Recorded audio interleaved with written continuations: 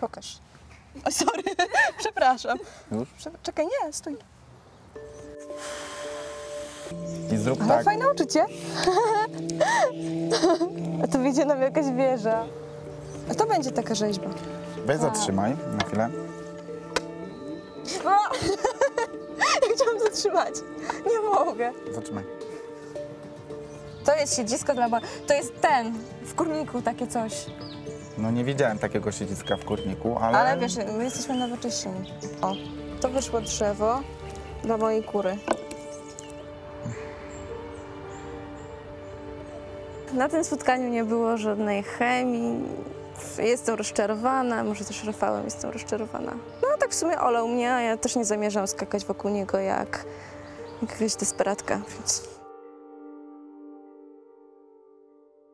Kamilka, zapraszam cię. Nie rozumiem tego zachowania.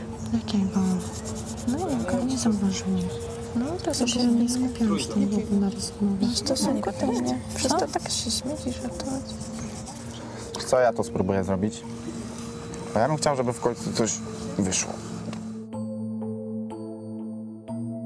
Jest to po prostu tak nudne, że, że niby ma badać o cierpliwość, ale mi to nic nie, nie, nie po prostu.